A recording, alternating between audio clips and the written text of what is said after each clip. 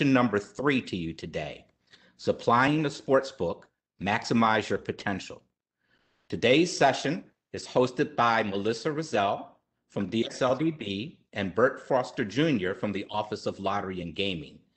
Melissa and Bert will be moderating a conversation with Ms. Tina R. Harrison, Director of Business Development for Infinity Solutions, Inc. Infinity Solutions is a 100% owned, minority, woman-owned CBE, which provides a myriad of security-related functions and is an OLG licensed supplier to the William Hill Sportsbook. We are grateful for today's guests taking time to join us today. So with that, I'll turn it over to Melissa and Bert.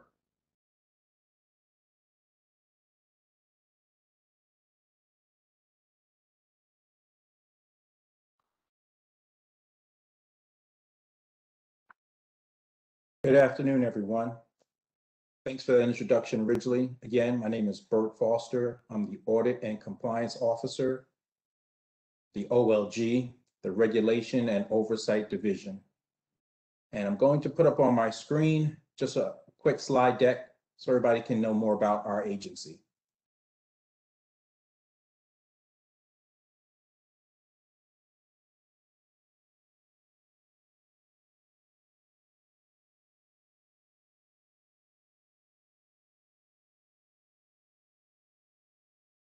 So as you can see, sports wagering is licensed in the District of Columbia.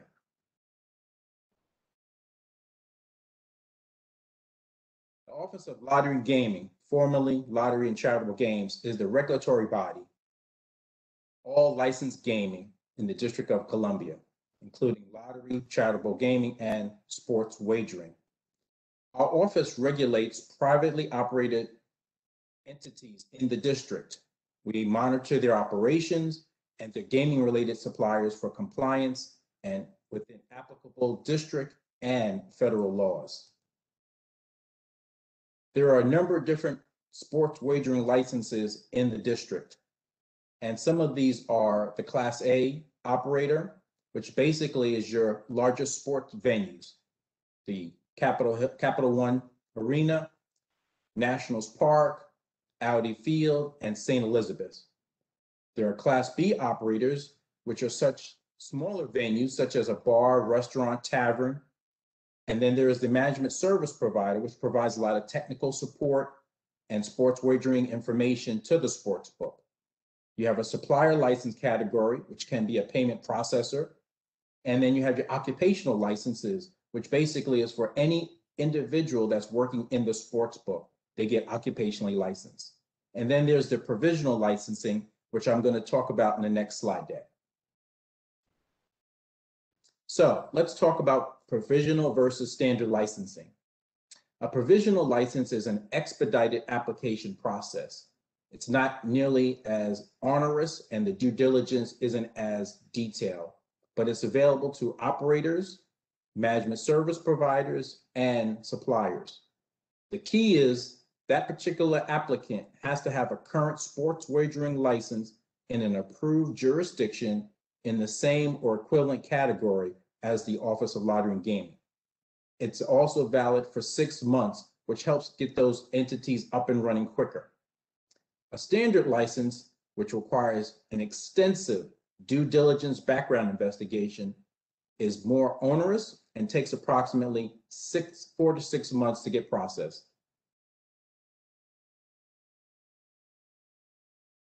Now I'll talk about briefly the certified business enterprise and other requirements. Operators and MSPs are required to submit a CBE plan. That CBE plan must be approved by the, business development, uh, sorry, but by DSLBD's uh, director, um, and it requires a 35% um, share of their operating budget going to the CBEs. My colleague uh, Melissa will talk more about that on her slide deck. But there are certain advantages if you go with a joint venture process, which means you have to be certified by DSLBD as a joint venture. And there's a reduced application fee. For a Class A operator, it's $125,000 fee. And for a Class B, it's only twenty-five thousand dollar application fee. Thank you for connecting with us, and I'll pass it over to Melissa.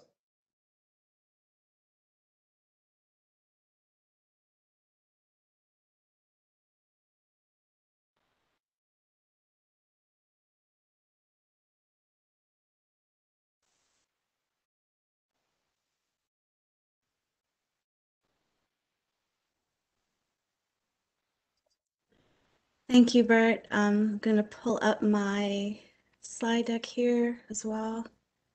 And good afternoon, everyone.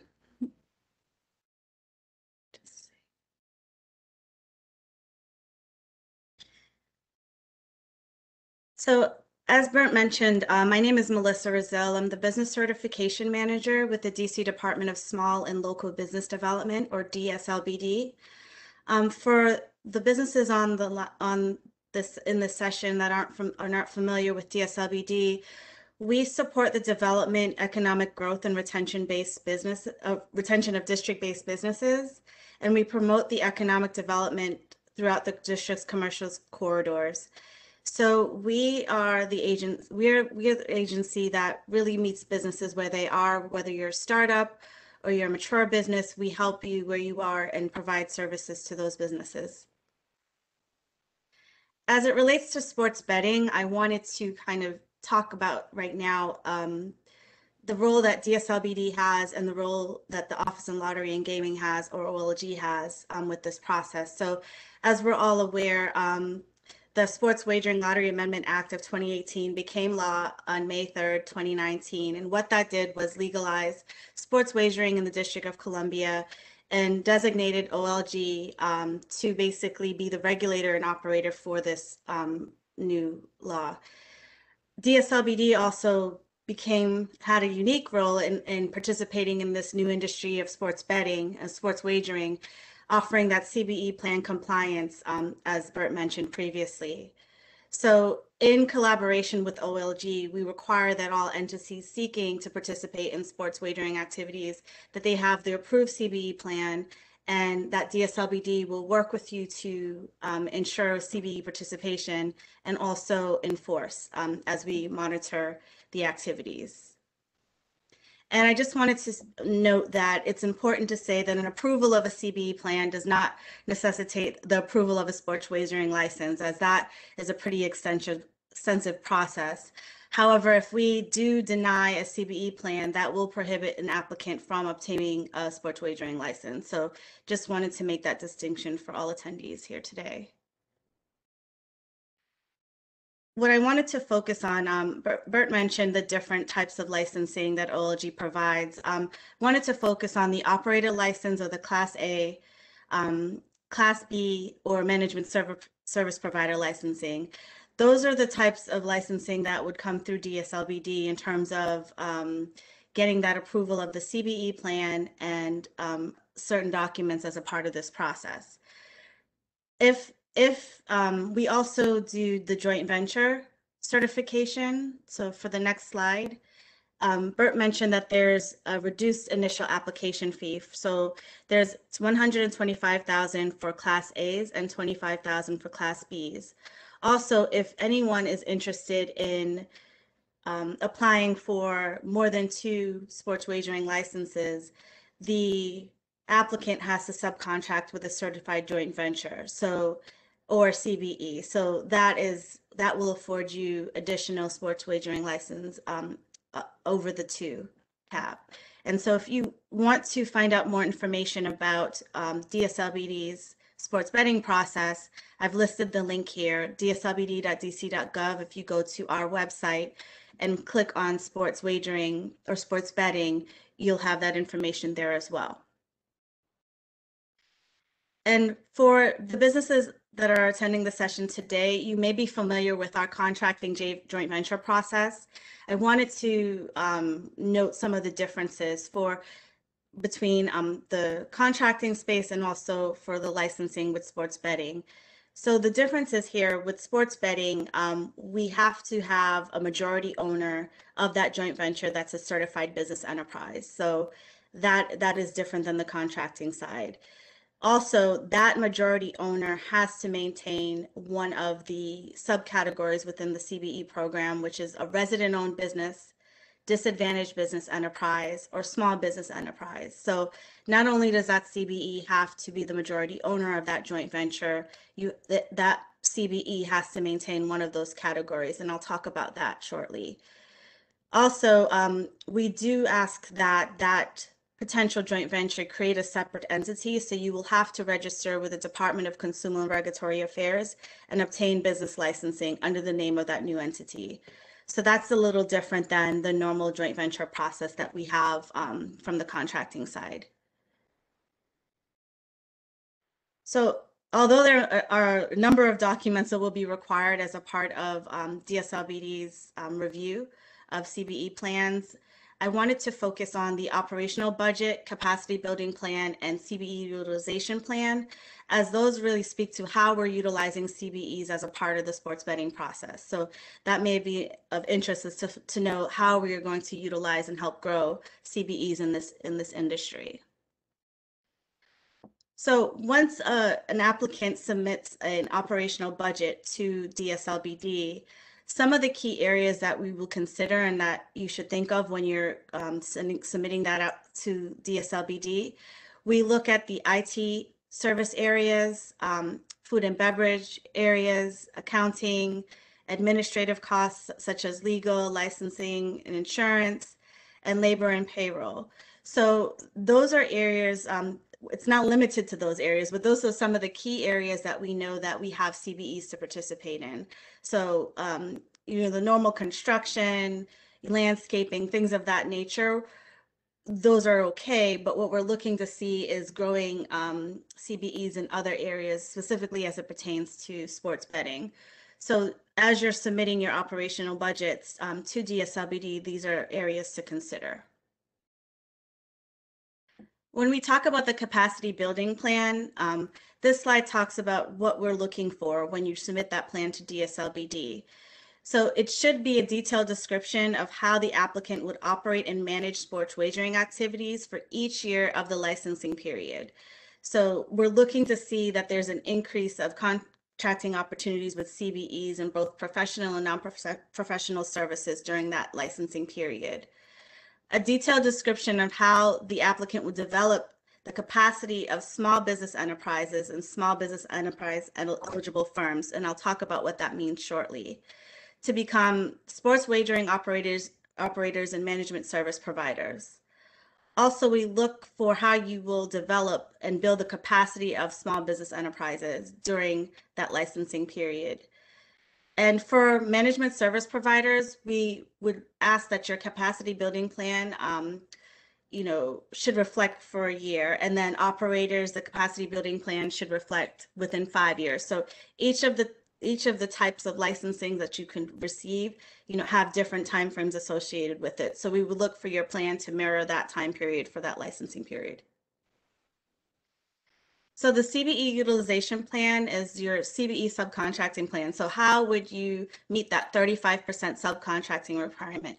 At that time, um, you know, the operating budget that I spoke about, there's key areas that you can um, subcontract with CBEs and so between the compliance division, um, business opportunities division, and um, once you submit an application to the department, we'll all work together to help help you identify, um, you know, CBEs for that plan. So we'll review your plan and talk about ways that you can maybe increase um, CBEs um, utilizing CBEs in certain areas. So that plan is, is also required as a part of the process.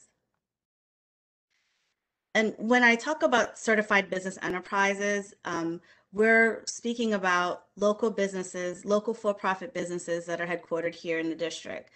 So the three categories that I mentioned for the joint venture process, the small business enterprise, disadvantaged business enterprise, and resident-owned business, those are highlighted in the chart here. Um, normally in the contracting space, you know, certified business enterprises receive preference when bidding on contracting opportunities. In this space, if you are a CBE um, that wants to joint venture, you have to maintain one of these three categories, as I mentioned. So the small business enterprise is specifically mirrors the S- Small Business Administration standards, so independently owned, operated, and controlled.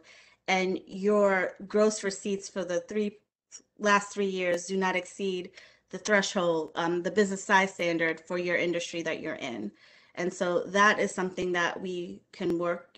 Existing CBEs may be already small business enterprises, um, but we can also work with you um, to identify whether you're not or not you qualify. The disadvantaged business enterprise, that means that your business is majority owned by a, an individual who's socially and economically disadvantaged.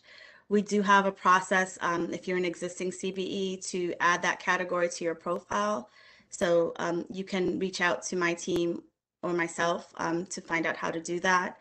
The resident owned business means that you're majority owned by a district resident, so more than 50% owned by a district resident. So if you are a CBE that maintains the local status um, and then one of these designations, you can joint venture with a non-CBE um, to to receive the discounted initial application fee as I um, or reduced applic- initial application fee that was mentioned previously. For those businesses that are on the call that may not know or not certified, I just wanted to touch a little bit on what it means to be a CBE. So to be a certified business enterprise, you have to meet this local business enterprise definition. So your principal office has to be in the District of Columbia and you have to meet one of these standards. So either you're independently owned, operated, and controlled, or owned, operated, and controlled by a district-based enterprise, or owned by a non-district based enterprise that's majority owned by district residents.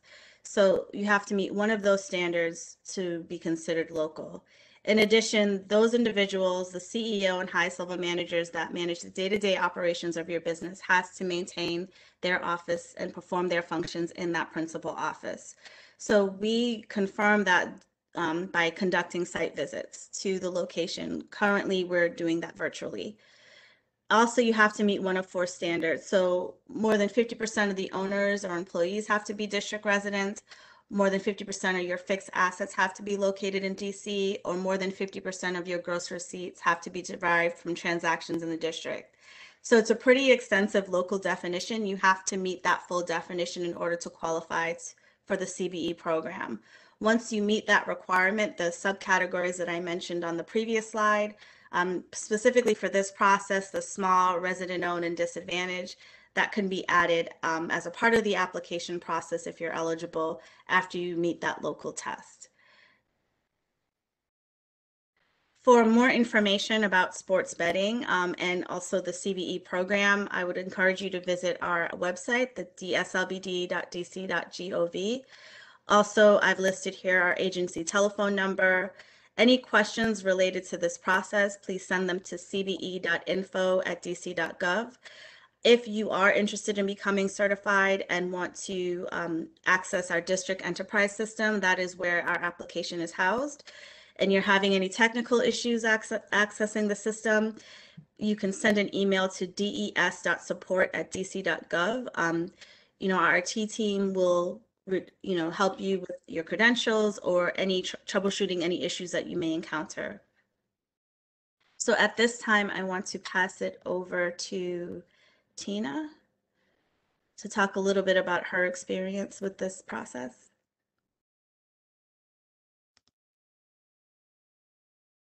Thank you, Melissa. Mhm. Good afternoon, everyone. My name is Tina Harrison. I'm the Vice President of Business Development for Infinity Solutions, Inc. Also, Department of Criminal Justice Services Compliance Agent for Infinity Solutions, Inc., certified, and also a DC Security Certified Registrar for Infinity Solutions, Inc. Infinity Solutions Inc. was established in December 2002. Our core capabilities are information technologies, electronic electronic security systems, um, guard services, and the electronic security systems covers camera solutions, access control, as, lo- as well as burglar alarm systems. We are a Small Business Administration, SBA, 8A graduate. Graduated in 2013. A part of our business plan was to provide niche solutions and services to the federal government, state government, DOD, and local government services. So, a part of our business plan was to establish solutions that would give us a niche within the market where there are many. The best way for us to educate ourselves in the areas of our core capability was to establish relationship with some of the larger companies such as Securitas, Stanley Security, where we became subcontractors. Once we became subcontractors, after a couple of years, we had the inroad to the manufacturers who provide security solution for your special niche markets, such as casinos, banking institution, financial institutions, museums, department, black box division of General Services Administration, and the DoD. I'd like to start off my presentation with a epiphany that started back in 2005 with my son at the dinner table. I had done some work for Mr. Ken Rowland in Albuquerque, New Mexico, who flew me in to do a voice presentation for a proposal we were going after. Never met him before. He flew me in. And at that time, I had to talk about securing military assets, firearms, weaponry, and ammunition. In doing so, I had to come to the table with the expertise of knowing what I need to know about security and surveillance systems and solutions. And that brings me to the topic of my son. Mr. Rowland asked me to go with him safari hunting. And my I mentioned it at the dinner table, and my son said to me, Am I going to take a machine gun? Which was an epiphany. It let me know that when approaching any type of task, you need to have the skill, the consistent understanding of who and what it is you're hunting, or you need a machine gun to do fire rapid to be able to survive to me, that was an epiphany on how I need to run, establish, and develop my business. So we had to fine tune some things to stay on point. Basically, that brings me to my interview with William Hill, December 2019. William Hill reached out to the Office of Small Business and um, we were one of the candidates to do an oral presentation, an overview of what it is that we do and we provide as our core capabilities.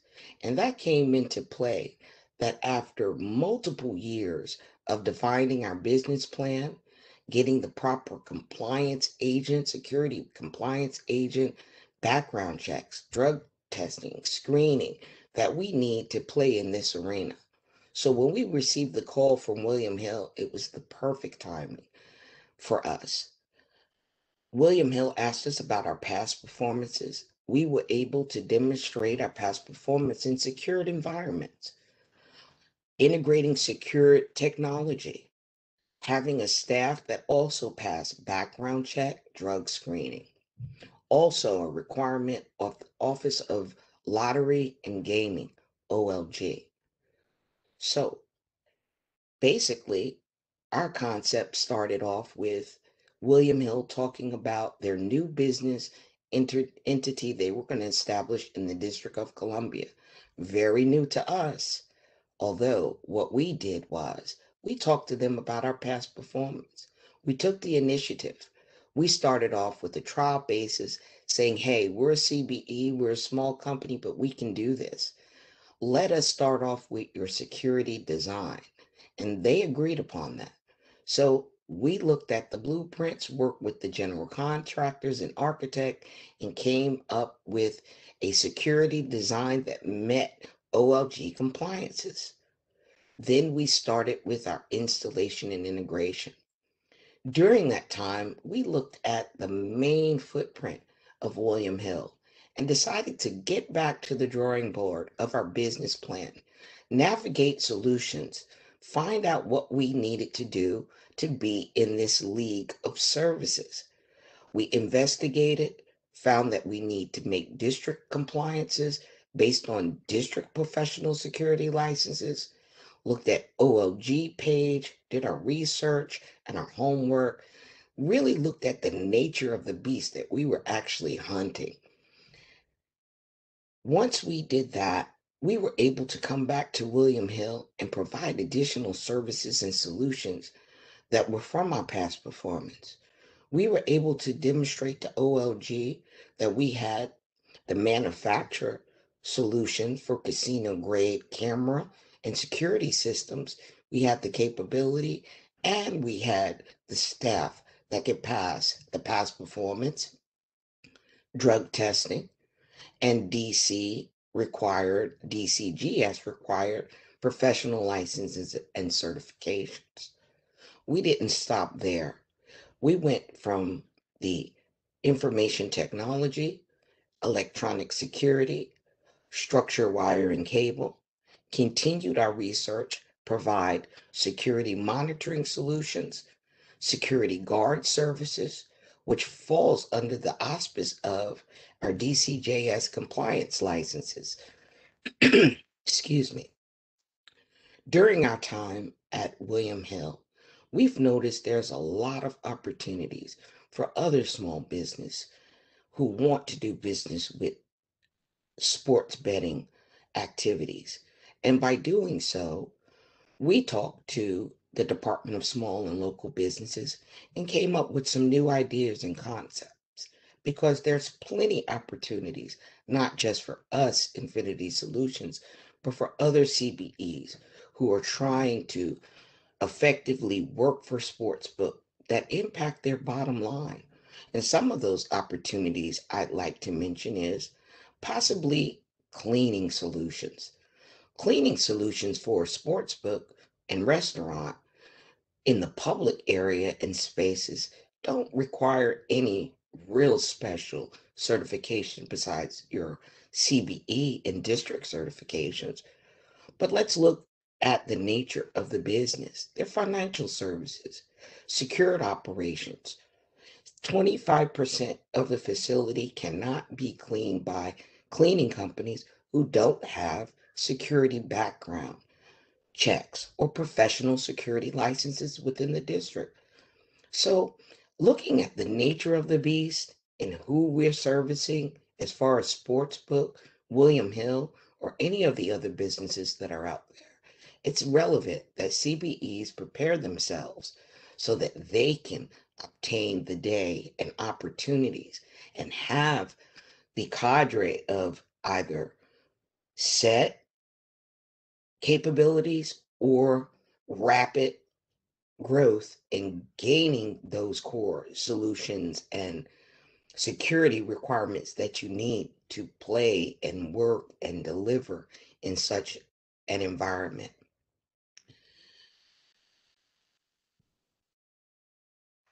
There are other opportunities within the sportsbook betting area from the restaurant side, restaurant solutions, information technology solutions, printing, development of um, signage. So, my recommendation to the CBEs that are participating in this video today is to take a good look, research, look at the company who you're trying to provide solutions to.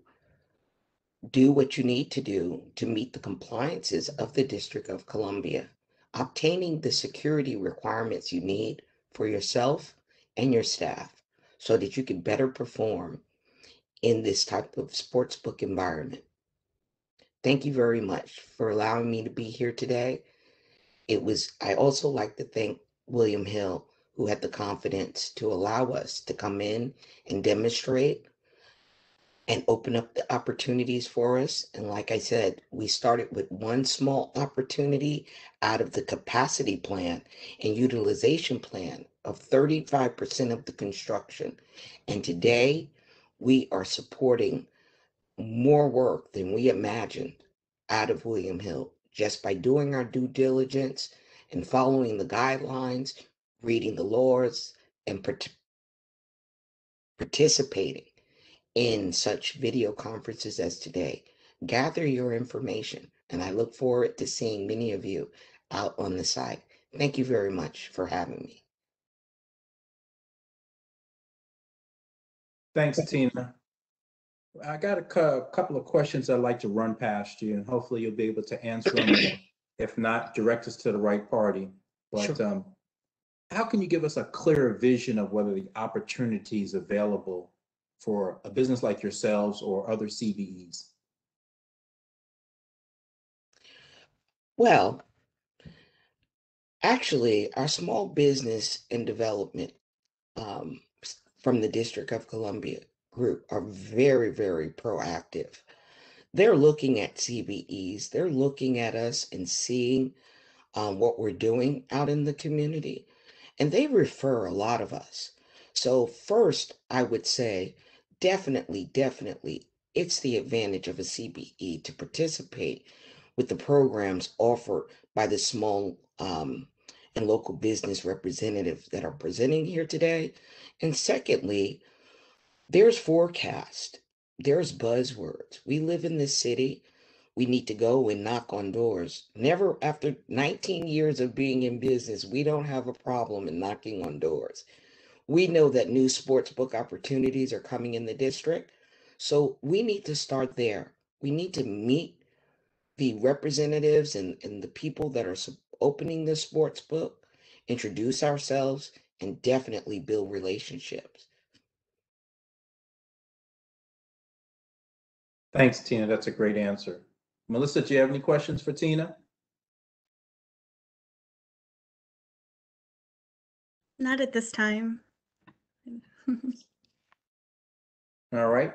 Um, so let me ask you another question, Tina. What are some of the items that a sports book might purchase, like the William Hills, the future one that'll be at Nats Park and eventually Audi Field?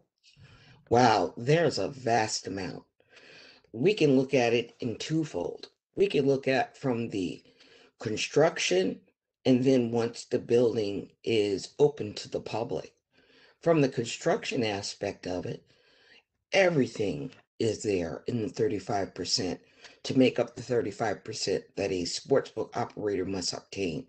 You've got your structure wire and cable, you've got your drywall, you've got your painting, you've got um, construction, you've got surveys, many different things on the construction side are open to CBEs. Now, once the business is open or prior to the business opening, on the restaurant side, you've got goods, you've got plates, table, furnishing, um, posters, uh, signage, you've got um, toilet paper, you've got copy paper. There's many different opportunities for CBEs from many different aspects. And if you want to deal and, and go deeper into it, also don't forget the nature of who you're doing business with. Do your background checks, get your professional license, get your security, make sure you can get through the OLG department with a squeaky clean reputation that allow you to have longevity. Thanks, Tina. That's another great question. Uh, so one from the chat talks about, would you recommend a CBE cold calling, just walking up to a potential uh, sports book like William Hill and pitching their services? Absolutely. Absolutely. Um, 19 years, I'm still doing that. I'm still knocking on doors. I'm still doing cold calls. My grandfather had a saying, you got a 50 50 chance. If you do nothing, you have zero chances. Yes, I would definitely suggest doing that. Great. Look like Melissa popped in. I guess there's another question. I, this might be for lottery though, but would I need a CBE to start a business with lottery, with the lottery? It's another question. That question, we're probably gonna have to refer to someone else in lottery that can answer that, so I'll have to get that inf- in- information and respond back in the chat to that person. Okay, I, I can try to answer that. sure. Go ahead, Right. Ridgely. So, you know, of course, the lottery is a district government agency. It's the Office of Lottery and Gaming. We are subject to the same uh, rules as all district government agencies relating to uh, small businesses and having those included as parts of contracts. So any contract that we enter into that's $250,000 or more must include a CBE plan. And I think Melissa can tell you more about how those CBE plans and what's required of those. Right, so that's absolutely correct. So the, I have to move from contracting to, from sports betting to contracting. So, so the normal, the CBE law in itself, um, you know, fifty percent of the expendable budget of the agencies that we monitor have to be spent with local CBEs that are small. Um, in addition, as originally mentioned, um, any contract of over two hundred and fifty thousand, there's that thirty-five percent. Currently, during um, the public health emergency, it was fifty percent subcontracting requirement with certified business enterprises. So I would say to answer that question as well, um, I think you would reach out to um, to lottering about kind of contracting opportunities. I believe, do you guys have that on your website? Um, we probably um, any opportunities, contracting opportunities. I would reach out to because they have to spend money with CBEs as well. It's, and, and to clarify, because the, the Office of Lottery and Gaming is a subordinate office within the Office of the Chief Financial Officer. Mhm. All of our contracting is done through the OCFO, the Office of the Chief, of the Chief Financial Officer. They have an Office of Contracts. That Office of Contracts has a website. You can go to cfo.dc.gov and look for the Office of Contracts. And then um, the contracting opportunities are posted on the OCFO's website. And it's actually a good place to look because you see all of OCFO's uh, contracting opportunities, not just lottery. Right. Thanks, Ridgely. Yes, Are there any other questions in the chat? I Yeah, uh, there's a question here, this asks, uh, can a CBE be an operator? Um, the best way to answer that question would be, uh, it probably would have to be a joint venture, don't you, uh, suppose on that, Melissa? Right, to operate a sports book, um, I would say, yeah, because, and I wouldn't say every situation is unique as we, we were going through this process, but I would say you wouldn't normally have to joint venture with a management service provider. So it's usually, um, as we mentioned, the Class A or Class Bs, um, joint venturing with a management service provider to operate a sports book. But we can, um, also you can reach out to us and we can see like what you're trying to do and and kind of direct you in the right way. Thanks, Melissa, I appreciate that. The, the one thing that I, I think should be noted is that a, a Class B operator, um, per, per the regulations, has to have a primary business other than the sports book. So it has to be either a restaurant, a tavern, it could be a gas station, it could be a smoothie place. It, it has to have another business model and, and operating. Uh, it can't, not, it cannot only operate as a sports book. So I think that's important for our attendees to know.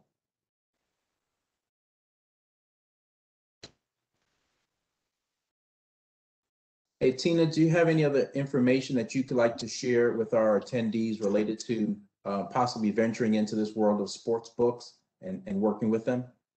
It's a lot to learn. Um, even we've been providing guard services for about 15 years. But when we stepped into the sports book and the amount of guard services and the requirement of the OLG, we had to rush to the races and collaborate with William Hill and how they operate as a sports book.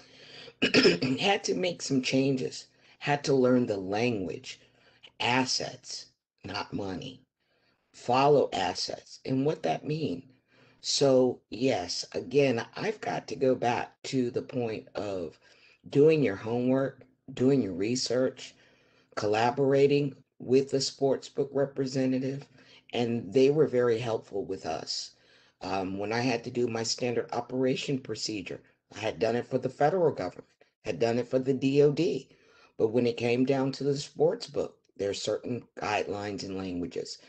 So building that relationship with the sports book owner and being open to learn will help you go a very long way.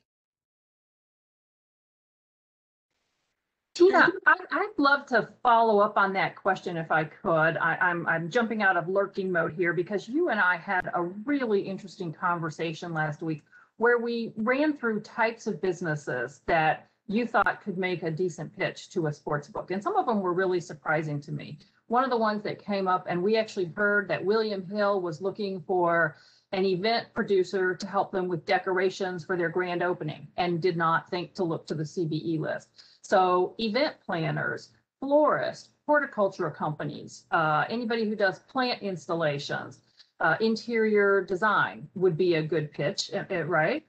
Absolutely. Even to floor mat, to cleaning of uniforms, to lighting solutions, LED lighting replacement, coming in at a certain time. If you're secured, you can get in after hours and put in lighting systems or unsecured during regular normal business hours. There's a lot to deliver and a lot of services, a lot of opportunities for CBEs. And I would tell them to go and knock on the doors as soon as possible. You know, um, William Hill has to participate in the 35% spin. And it's not just today, it's the whole time the business is running. And you Oh, can I mentioned, just- Oh, sorry. oh, oh, go ahead. Go I was ahead, just gonna add really quickly um, to the point of like the areas that CBEs can participate in. And I think part of the requirement to submit that CBE plan to DSLBD to review, and we talked about the capacity building plans. I know once the once the plans are submitted to DSLBD, I know um, Lauren's division as well as the compliance division, we all work together to ensure that a lot of these areas that you guys are talking about, like if, if we see that there are potential new areas that we didn't think of for CBs to participate in, um, th- that's part of the conversation. Um, because the goal really is this is a new, this is an industry that we weren't normally in, right? And so we're trying to figure out how do we grow um, our CBE pool, like a little over 1900. How do we grow those CBEs in this industry and and have new ones, right? So grow the CBE pool so we have um, more more businesses in this area. So I think that that's part of the conversation that you had, Lauren, with Tina is like the conversations that we will have continuously about um, ways to include CBEs in this. So that's great. Yes, definitely. After, after learning that the uh, sports books, sports, sports books, we're not sure who to ask for. We've put together a list of every single NIGP code that a CBE can cur- currently provide. And so we will make that available to anybody going through the application process so that they, they have this incredible reference.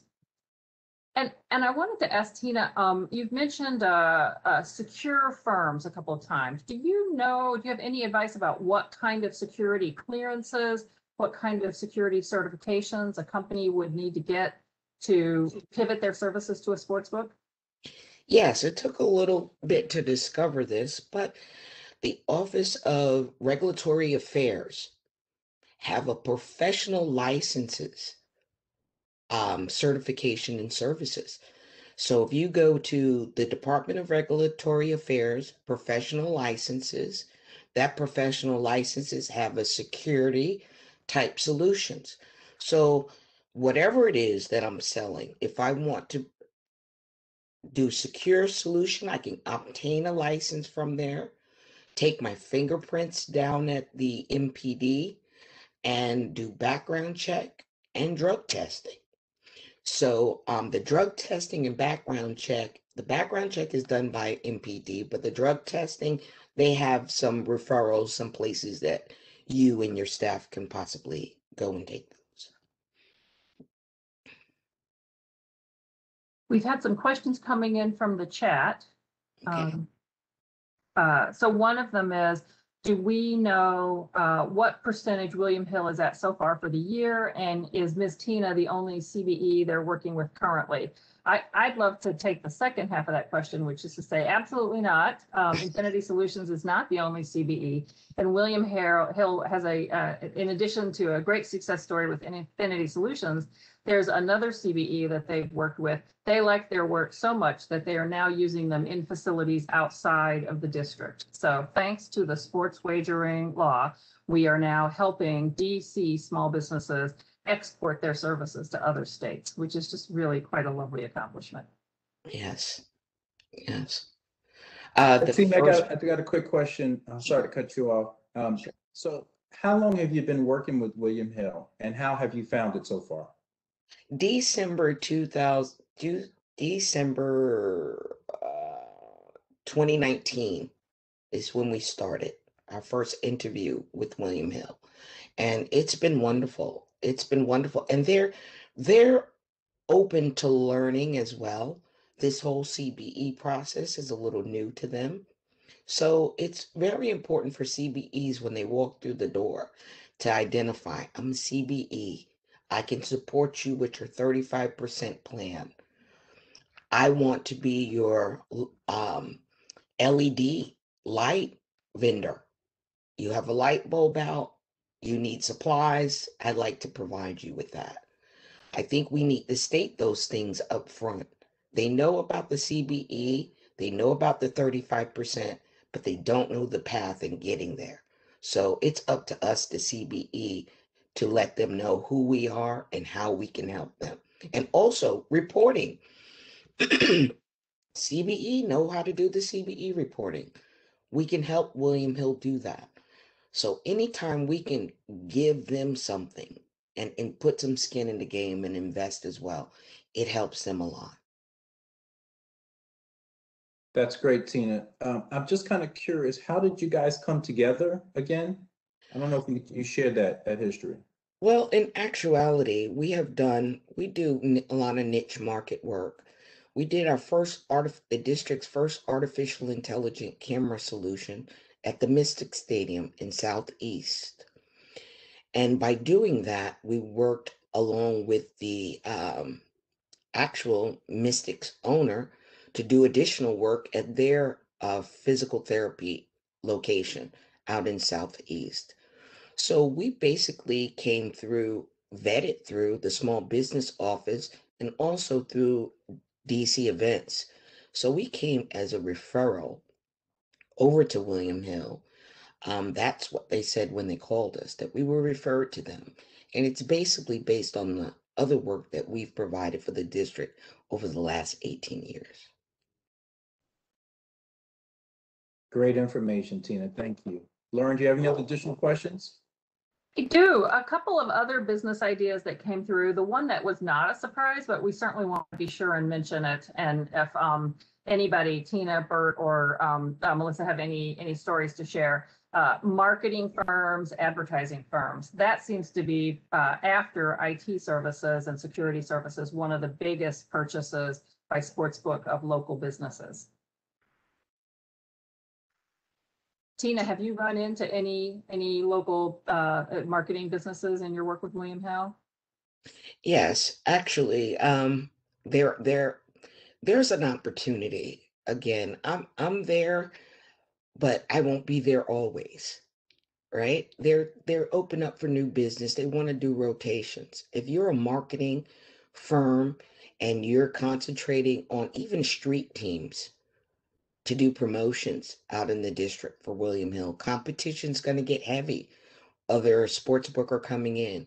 If you're a marketing company, I would approach William Hill to do that. Um, I do see that someone asked for our business contact, and I'm pretty sure, Lauren, you will provide Infinity Solutions contact information as well. I see that in one of the questions. So yes, I I would as a matter of fact, on this project, I also had small businesses working with me on the construction side, which is a normal practice of our company. Um, we know what it was like 19 years ago when we first started, and we had people that allowed us to come in and subcontract.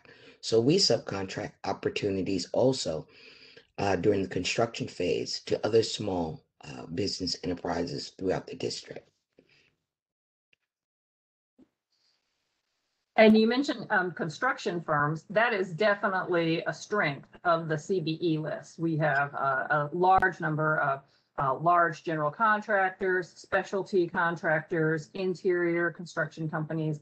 Those are uh, always firms that, uh, as these new new businesses in the district start building out their facilities, that seems to be a, a really obvious connection right there. Um, the other one that I wanted to talk about, um, which of course is, is a district specialty, would be legal services. Uh, we are known for our high caliber of law firms in the district, and that is absolutely something that sports books are looking for.